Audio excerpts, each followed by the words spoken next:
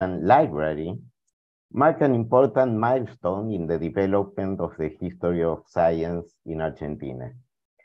In 1939, he was appointed director of the Institute of History and Philosophy of Science, created the previous year at the Universidad Nacional del Litoral in the city of Santa Fe. There, Mieli published several issues of Archeion until 1943, when the university lost its autonomy and the military government appointed an auditor who suppressed the institute.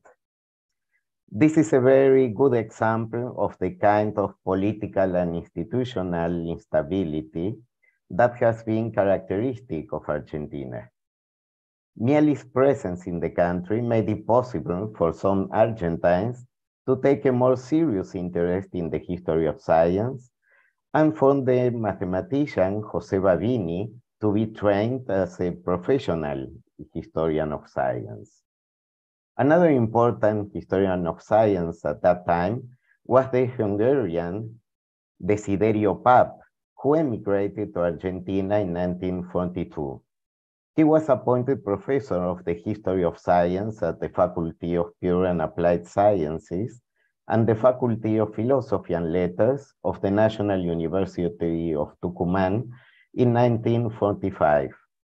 That tradition was hardly preserved because of the political vicissitudes that Argentina has suffered. In fact, it can be said that the history of science in Argentina has often been done in spite of, rather than thanks to, political and economic conditions. However, the history of science, after a long period of academic ostracism and the recovery of democracy 40 years ago is beginning to show signs of a possible retrieval. The history of science is currently taught in several universities, usually as a graduate course. For instance, in some faculty from the University of Buenos Aires, and more recently in the creative national universities in the greater Buenos Aires area, San Martín, Quilmes, 3 de Febrero, Lanús, that have chairs in history of, eh, of science, usually associated with graduate programs in science policy, sociology of science, and philosophy of science. In general, there are multiple and plural ways of doing research in the history of science. Among others, the following types of history of science can be mentioned. Biographical, autobiographical, prosopographical, fictional, thematic, institutional, national, disciplinary, comparative, hypothetical, anachronic, diachronic, experimental, scientometrical, and conceptual and some of them, if not all, have been practiced or are being practiced by historians of science in Argentina at one time or another. But if we uh, focus on a conceptual, intellectual, theoretical, philosophical history of science, it can be said that one way to do this kind of research is to make some connection to the philosophy of science. This is a continuation of a long tradition already present in the main authors of the 19th and early 20, 20th centuries, such as William Whewell, Ernst Mach, and Pierre Duhem, who maintained that there was a close relationship between the two in the sense that they understood their philosophical positions were based on reflections made in the history of science, and in order to carry out historical analysis of science, one had to possess some philosophical concept of science. A similar position was sustained by Emil Meyerson and his circle, which included Alexander Koyré, Leon Brunschvicg, and Helen Metzger, and of uh, Edouard Le Roy, Ernst Cassirer, Edgar Zilsel, Ludwig Fleck, Abel Rey, Gaston Bachelard, and Georges Canguilhem, among others, towards the mid-20th century. At the same time, however, some philosophers of science, including Hanson, Mary Hesse, and Toulmin, acknowledge the relevance of history of science for philosophical reflection on science, giving rise to what would become known as the historical term, turn, which was continued in the 60s, 70s, and even 80s by Kuhn, Feyerabend, Lakatos, and Larry Laudan. The work of these historicist philosophers of science, as well as the attempts of other more formalist authors, such as Joseph Sneed, Wolfgang Stegmüller, and Ulises Moulines, along with the popularization of the paraphrasing of Kant's dictum, contributed to rethink the relationship between the philosophy of science and the history of science.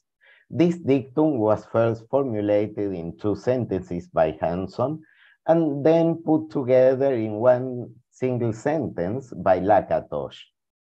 And I quote, philosophy of science without history of science is empty. History of science without philosophy of science is blind. The discussion of such relationships continued with the questioning of the link developed between the two metascientific subdisciplines, whether it was not more a marriage of convenience than an intimate relationship. Also, the adoption of the naturalist, uh, naturalistic turn and the proposal of the so-called confrontation model, and more recently, the development of the new historical epistemology and the so-called integrated history and philosophy of science.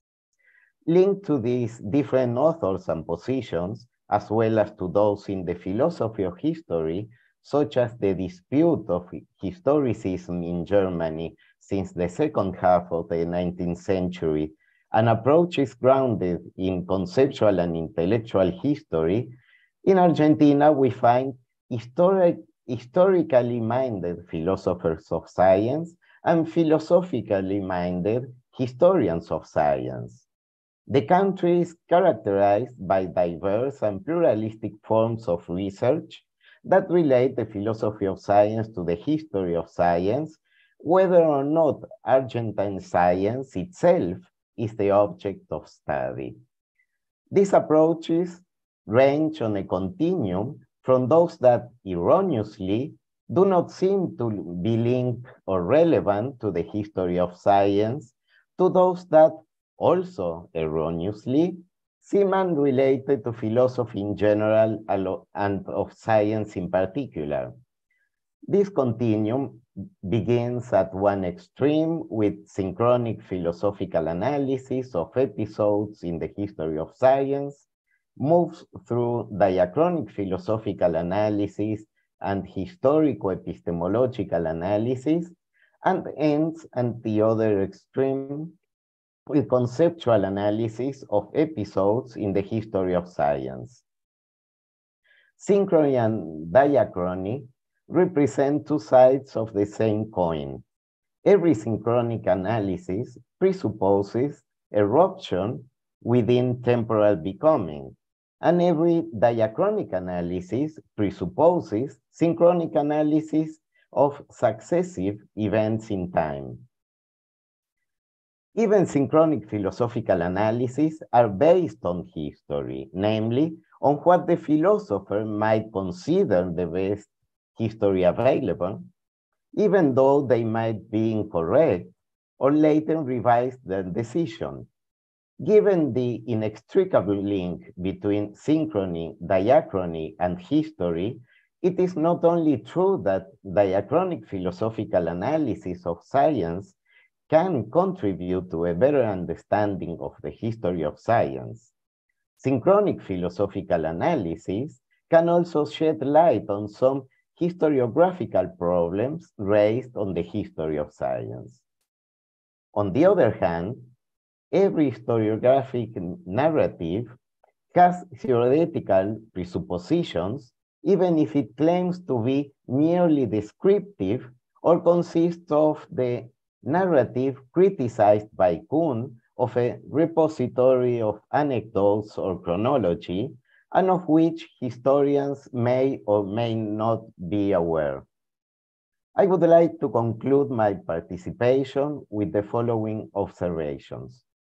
On the one hand, the work done in the history of science can contribute not only to the field itself, but also to teaching, education, and communication of science, and to science policy and management.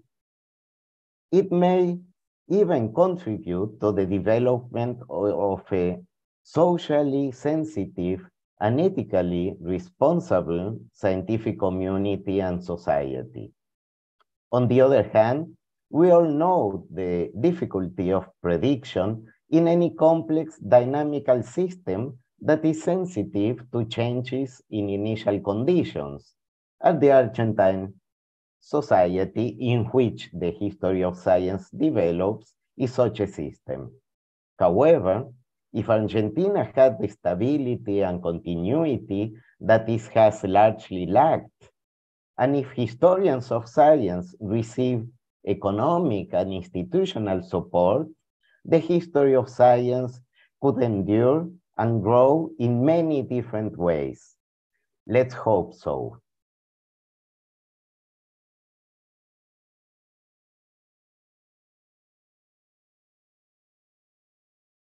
And thank you so much.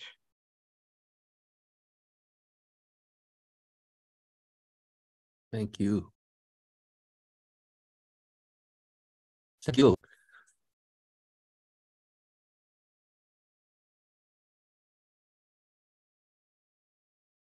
Marcos, you still with us? Okay, I think I think we've temporarily lost Marcos. So M- I'll step in for a second to chair as Thomas comes up. There we go. Okay. Thomas, do you want to carry on? Or Marcos, we got you back. You're muted, Marcos. Tim, would you like to continue? Yeah, okay, let me share uh, my screen.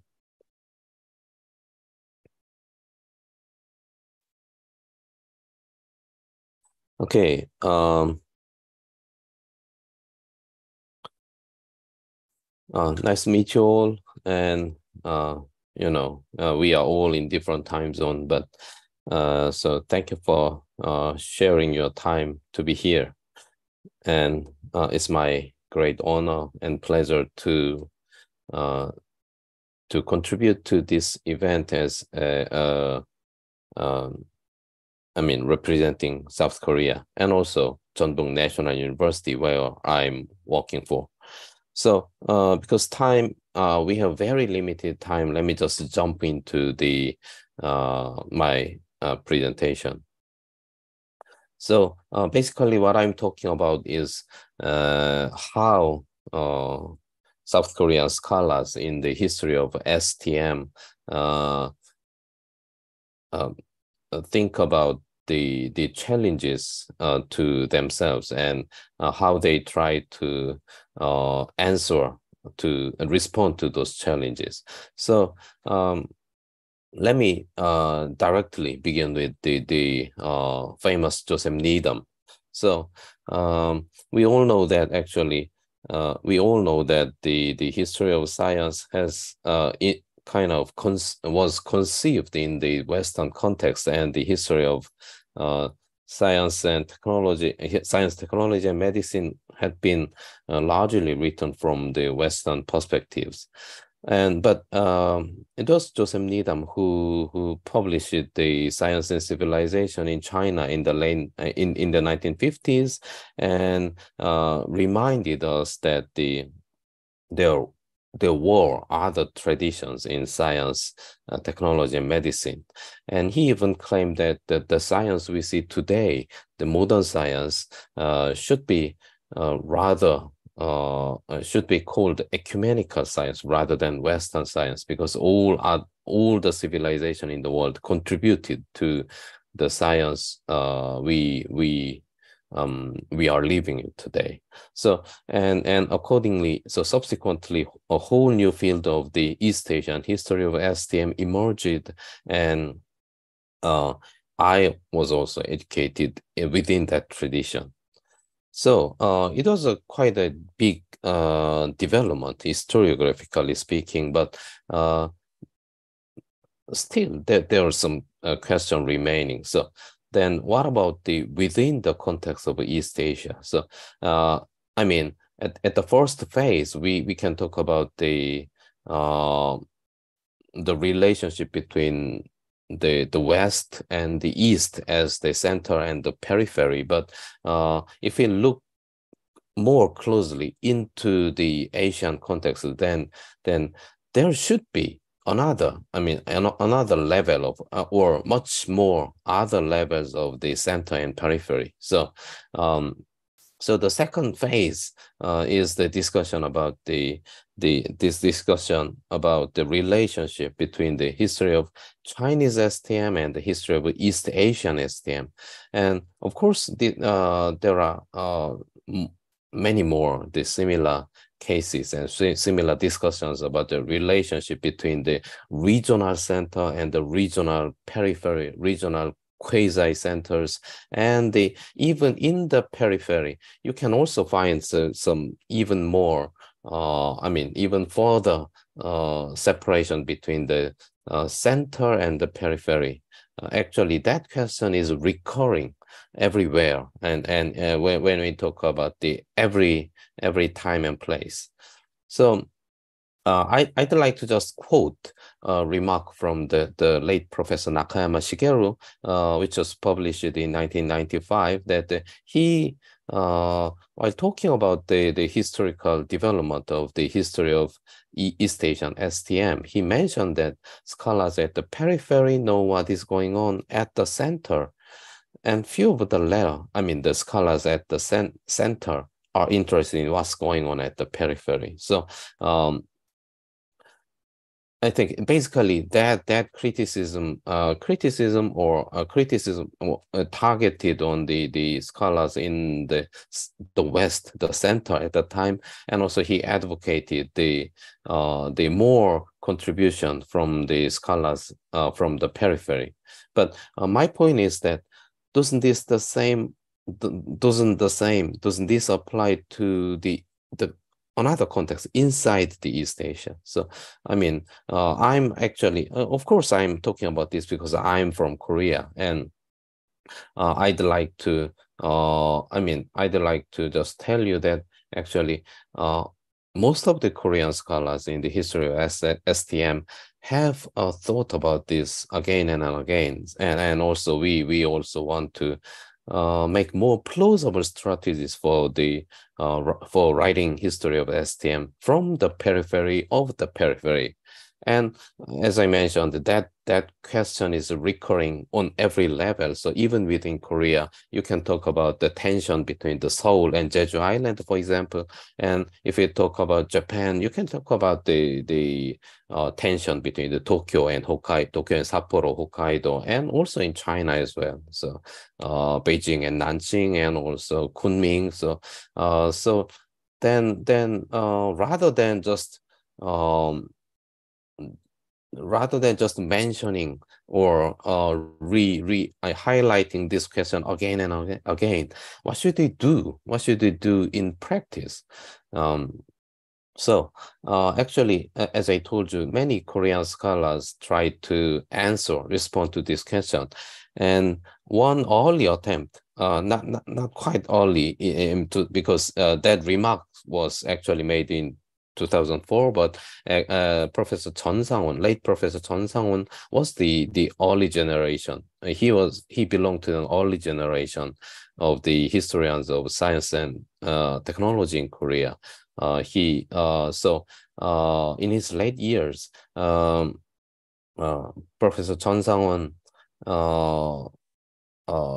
suggested an suggested a claim that actually the the Korea in the in the early 15th century, the the early Joseon in the early Joseon period was actually leading the development of science and technology, medicine in the world. And his proof, his evidence is that he actually counted the numbers of the entries in the Japanese one of one of Japanese encyclopedia of the history of science, uh, which covers from 1400 mm, to 1450 and he um, after looking through that uh, that record he claimed that the korea was i mean the contribution from korea was mentioned 29 times while china was mentioned five times and no mention about japan. And the uh, when he combined the, all the entries uh, from the uh, outside East Asia, it is only 28. So uh, that was, I mean, uh, um, that, of course, that is more like an episodic, um, and and he he just uh, so this is not a, the the argument of a big volume of books, but uh, that's just one, one hint he he provided. But uh, it it also shows uh, what kind of approach Korean scholars try to take.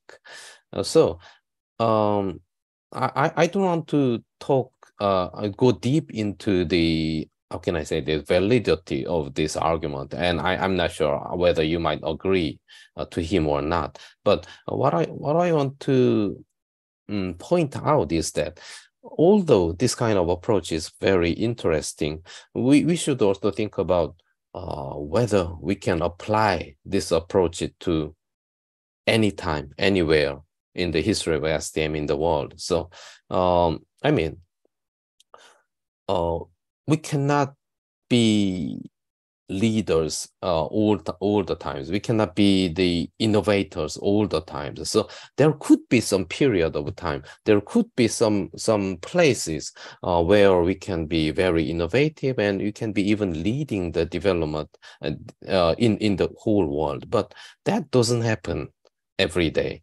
So uh, this kind, I mean, so so could this kind of approach be uh, applicable to other times and place and and uh, if not then what should our what should our approach uh, be like?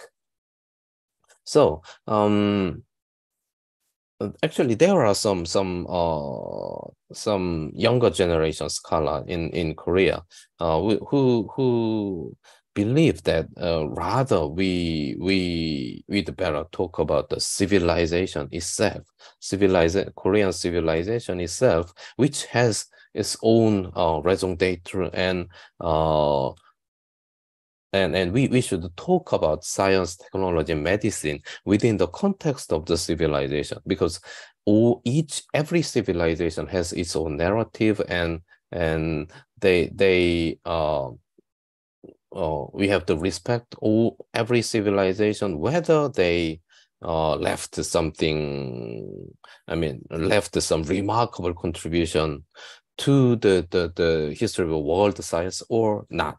So I mean, but uh, if we if we keep talking about the science and they, maybe we if we stick to the idea of science because uh, you know the, the the world sometimes the uh, the uh, restrict our thinking. So uh, we we might be uh, also uh, we might be also stuck to these ideas of a novelty, innovation, or achievement. So, um, so that's why actually. Uh, that, that's why uh, the scholars in Jeonbuk National University uh, decided to launch a, quite a big project. Uh, the, the, uh, basically, it's a book project, The Science and Civilization in Korea. You know, the title is quite familiar in some way because it's an actually direct homage to the science and civilization in China although we use Z instead of S in civilization. But anyway, uh, so uh, the the the book project began in in 2011, and it was it was successfully over in 2022 by publishing 30 volumes. And actually, we are uh, working on the second phase, uh, during which we should publish seven English volumes in collaboration with the Cambridge University Press. Uh, actually, uh, they are in pipeline, so probably very soon you might see the the English volumes as well. Uh, uh, unfortunately, there is not enough time to introduce each volumes and you know they are they are written in korean but if you can uh in case you can you can read koreans actually uh uh, those books are available online. I mean, the e ebook version is also available. So let me just let me just very briefly touch uh, what what they were talking about. So there are uh, 15 books dedicated to pre-modern topics, while 11 books are dedicated to modern topics, and you know the other uh, four titles covers the the entire peer, uh, history of Korea uh, on various topics. So we cover a lot of different topics, but basically what we, we want to, I mean, the, the, the, the theme, the motto we wanted to share with the, the, the authors of the uh, authors of uh, 30 volume is that the uh, while talking about the pre-modern period, we wanted to uh, highlight the commonalities and local differences. So uh, Korea was uh, a part of the East Asian civilization, but also uh, wanted to uh, uh, forge their identity and and maintain it. And uh, in in the okay, okay, and the uh, while dealing with modern topics, we also uh, touched the issues of reception, catching up, internalization. But uh, our one of our hidden agenda is that we wanted to bridge the gap. So uh, you know, in uh, outside the the Europe and in North America, uh, when we talk about the history of science, we always had to think about have to think about the the the gap of rupture in the historiography between the, the pre-modern and modern times, and uh, we believe that they actually the approach, the civilization approach, might be one of the the the bypass or the uh not, not maybe not answer but bypass to the, that kind of tricky questions. Because um the those civilization uh we, we approach in terms of civilization we can we can see more continuity than discontinuity. Although the language of science changed a lot the worldview changed but uh, there are some some other aspect that that is that, that is uh, continued. For example, the attitude about learning or the the social culture of the learning and books. Okay, so um, this is just an, a very brief outline about the or the uh, introduction of our book project. And okay, now is the time to end. Thank you so much. Thank you very much, Kim. And now we will hear Professor Xiaochun. He, also has some um, slides that he will share. Okay.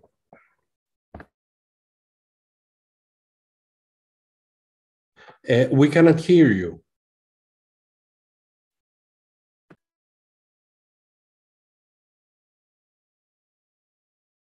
You have to unmute.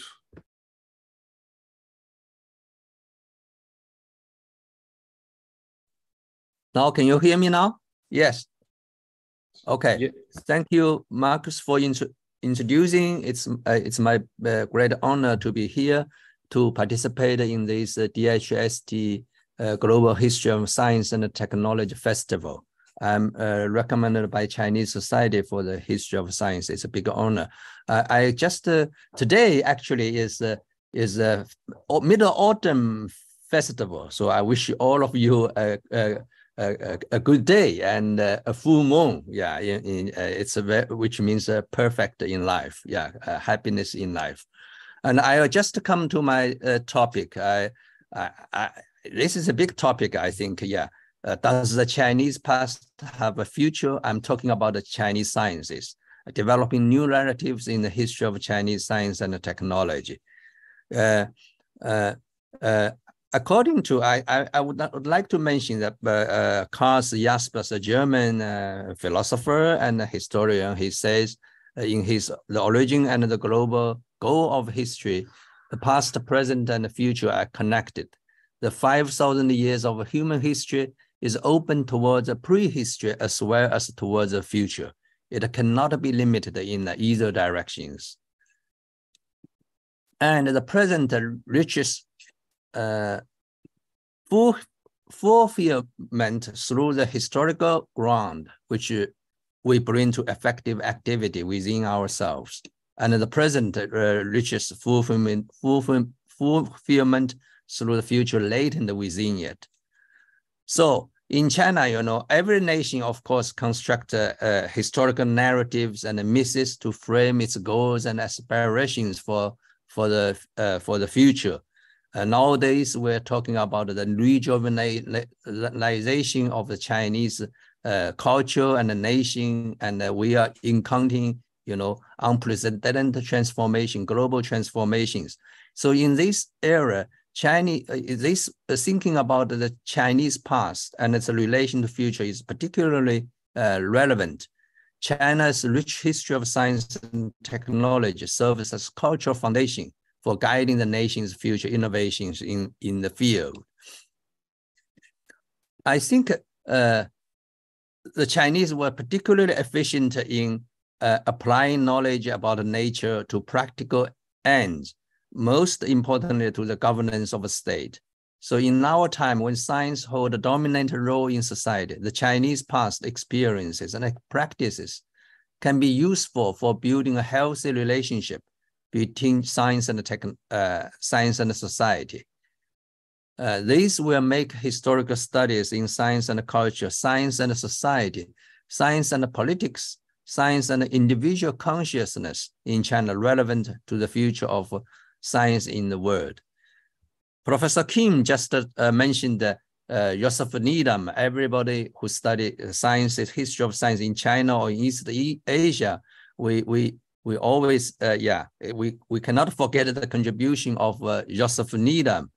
Uh, uh, the traditional narrative surrounding the history of Chinese science, which is often revolves around the Needham question, but this question, although it's contributed to for the West uh, to understand, to, to, to say China ha had, had science, but failed to capture the true essence of Chinese scientific thought and practice.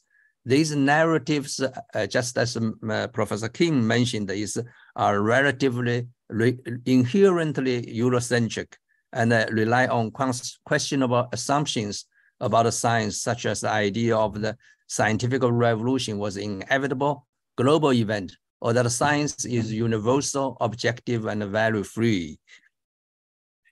So about this, Eurocentrics has a long history. We can go back to uh, Hegel, to Ranke. I'm not going to dwell on this, but I just mentioned, for example, Hegel's lesson of philosophy uh, is the Greek. Everything starts from the Greek. All of our science and art which adorns and dignifies spiritual life, has earlier em emanated directly from Greece or come from us uh, from Greece in a roundabout way via the Romans. So Hegel more or less excluded the non-Western world from the world history. Uh, particularly, he mentioned that I think uh, that uh, uh, Siberia, for example, uh, that's something the Russian, you know, writer uh, Dostoevsky also complained about. He he eliminated the Siberia from the from the world history. Also Asia and of course Africa. Africa does not deserve a part to be a part. Of Asia does not deserve to be a part of history. So all this uh, uh, uh, Eurocentrism is the views that uh, non-Western world as stagnant, empty of intellectual creativity and spiritual values, and in Max Weber's word, the absence of uh, rationality. So basically, West gives civilization and the East receives civilization. If something East do not uh, have science, uh, scientific revolution, it must be something went wrong with the East, East or Chinese society. So I think this J.M. Blaut uh, in the colonizer model for the world, he he he just juxtaposed compared the Western and the non-Western. Basically, Western rationality invents, and uh, the non-Western is imitation, imitating irrationality, etc., uh, progress and uh, uh, stagnation. But of course, about this Western century, the many criticism from historians, economic history, and also historians in the his history of science.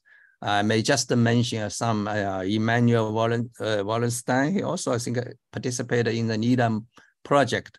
Frank, and also world historian uh, uh, William McNeill, etc. And uh, in that, we know people like, uh, uh, of course, Francesca Bray, Timothy Brook, and Bin Wong, and Kenneth Pomeranz also wrote either economic history or history of science or world history uh, criticizing, uh, rethinking about this uh, world history, should think in the uh, world system, system, thinking about world systems, not just Western uh, centered, Euro-centered his, history.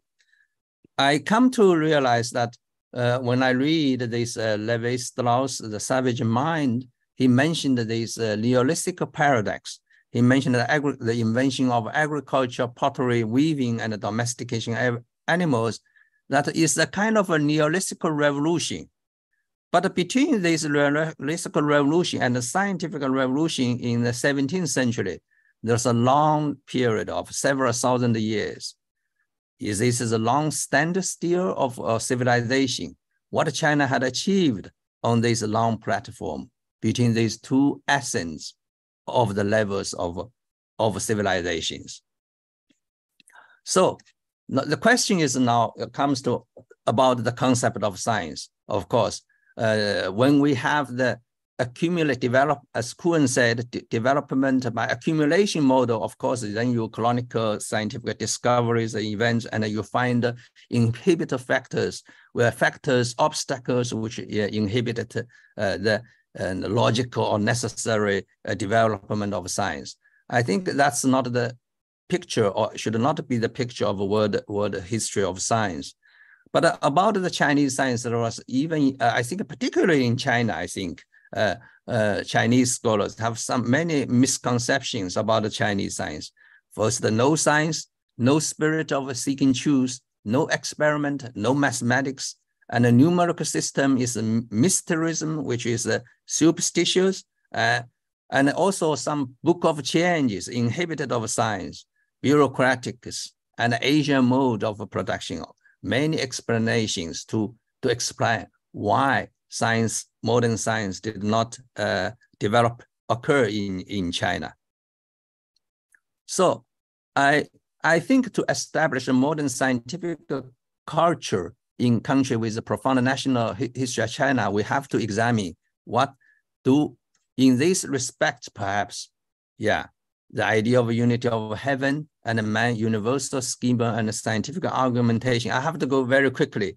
And I will come to think, talk about just about the scientific observation and experimentation and probably digital cosmological models for, for observations and classification, for example, from the Han time, the, the observation of the comet that described 29 types of comets are, depict, are depicted. And for logical reasoning, if you come to, to read Liu Hui's mathematical work, you can see that the same logic, uh, like Aristotle's syllogism, can be found in the mathematical thinking. I think uh, Karine Chemla and uh, Guo Chen had uh, uh, done studies on this. For experiment, uh, uh, this is in MODS, it's a pinhole camera experiment. It's not just an observation of a phenomena, but it's a way, it's experiment to demonstrate the straight propagation of light. Also, you can see in alchemical text, you can see all these vessels. It's very much like alchemical uh, a, chemical laboratory. Uh, China is, was very famous for porcelain making. Uh, how can they achieve such a high, high technology, high skill? I went to Jingdezhen and see all these samples. It's not just a fragment, it's samples for to, with different materials, different uh, paint, and also names. They are burned uh, in the kiln and to see what is effect. So that's uh, that's experimental samples in the production of a porcelain in Jingdezhen. Also in China, you have some sort of experiment, for example, exploring the nature of qi, the cosmic qi. It's very much similar to the to the experiment Michelson and Morley uh, experiment about the ether. Yeah. So uh, you have a theory, you you have some uh, uh, some uh, some then you have some imagination. You think about how to do it. The Chinese how to measure the 24 new uh, solar terms, the spring, the winter solstice. When the qi comes, it should vibrate with the cosmic qi. And the, uh, I'm also talking about the Chinese calendar, uh, uh, astronomical system. The Chinese calendar is not just the arrangement of days, but it's a way to, it's calculate everything of celestial phenomena, also social human phenomena. But uh, you, if we uh, study the calendar, you can see these, uh, these uh, three constant systems, concordance, the sequence is five paces for five planets. And then the manipulative technique, mathematical technique to do the computations. We can, uh, Christopher Cullen had a very excellent uh, researches on this.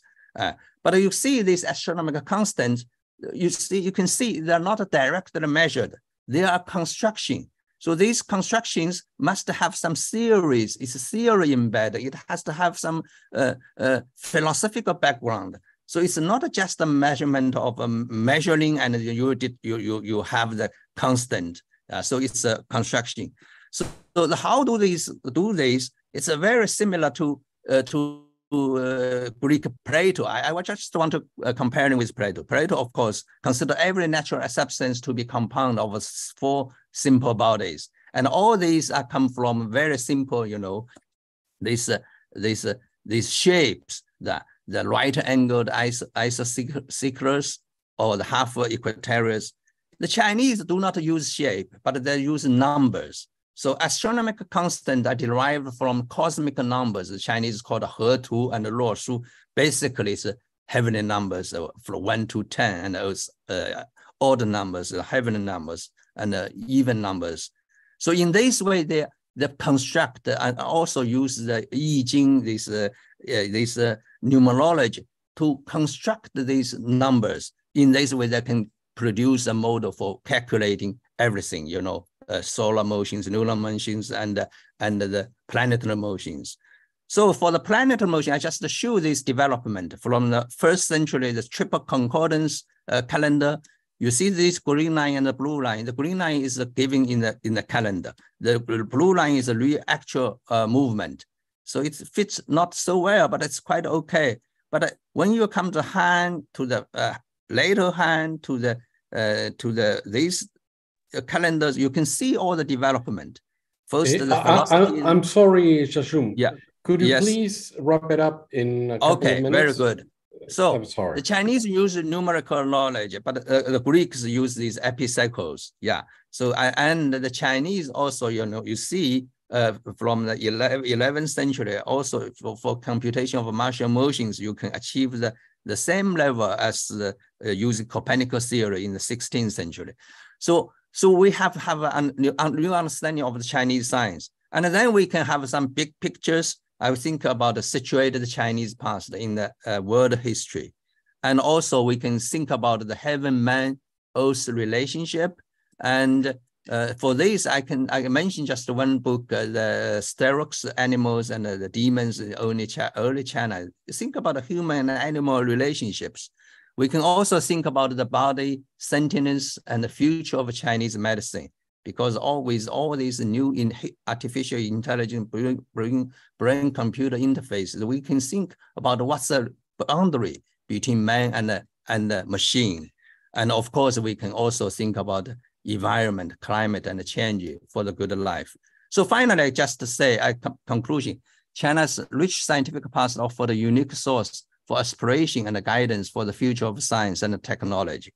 And when China, uh, by developing new narratives that encompass holistic and environmental conscious aspects of traditional Chinese thought, we can navigate the challenges, opportunities of the 21st century more effectively and sustainably. Ultimately, the Chinese past has a future when that can shape the course of global science and technology for years to come. Thank you for listening. Thank you. Thank you, thank you very much. Uh, Sam, if I'm not mistaken, we don't have questions, right? We we don't because something going on wrong with the Zoom. But if there's Okay. anyone out there in the audience Okay, or, or raises or- their or- hand, I can unmute them. Otherwise, since we have five minutes, I will make a final comment and we end, end the session. Um, I will make it in the form of questions. I think that the three interventions are very interesting to think about what is going on in history of science. Uh, Pablo make a thing that we probably lost our original connection to philosophy of science. It probably um, many historians of science, including myself, have been moving towards social sciences and other fields, and that we should return to the origins of the discipline where we were brothers as we are in the division of history of science with the other division of philosophy of science. So that is a question that we should probably make in the future. What is the exact um, interaction between history and philosophy of science? And the two papers, very remarkable. I think that they have in common the idea of decentering history of science, uh, the need of decentering history of science that has been going on for some years, and Professor Shashum has made some remarkable work in this direction. And I raise as questions not to be responded today, but uh, I appreciate very much, for example, the proposal of Kim on civilizations. But should we still use the word periphery? After all you said about Korean science, I don't think that is peripheral at all. Or Chinese science, that doesn't seem peripheral at all, no? And also, should we do a more comparative history? Maybe that is a, a good perspective, a good methodology, as Professor Shun has suggested. But I'm going to uh, provoke with another question. About what about doing a global history of science from the global south, from China or from Argentina or from Korea? Know that we, what some historians have been calling in other in other fields, provincialize Europe or to place Europe in balance with the other parts of the world, where the majority of population live and had a need of knowledge, of innovation, of science, and technology. No? Now, well, thank you very much. And sorry for stopping here. Uh, we appreciate very much your participation. And now we'll turn to Tomas that will guide us on how to move to the next session. Thank you. Thank you, Marcos. Okay. Thank you, Thank you. everybody. Yeah. Thank Goodbye. you so Thank much, you. Marcos and colleagues. Uh, okay, so good morning, good afternoon, good evening, wherever you you are. Thank you, everybody. Uh, all thanks to all the speakers and uh, uh, many participants we have here. I'm sorry for the problem we had with the Q&A box in this session. This has already been sorted out and uh, we can move on to session number two. This one is gonna be uh, uh, taken down, and people who want to join us on session two, you just go to the same page where you joined this one and click uh, on the second one. Okay, so thank you so much. And Thank you, Tomas. uh, Thank you. Thank you, thank you. So, so we have Thank to exit Thomas. this session. this is gonna uh, uh, Okay. disappear by Okay. itself. Okay, Okay. thank, Thank thank you very much. Thank you. Bye -bye. Okay.